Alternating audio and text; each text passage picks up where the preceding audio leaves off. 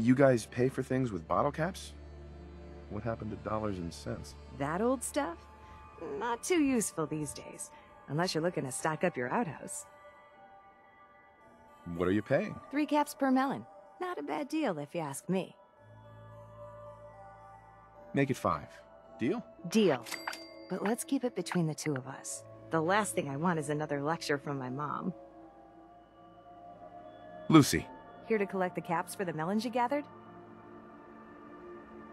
Yeah, here you go. Great. Thanks for your help.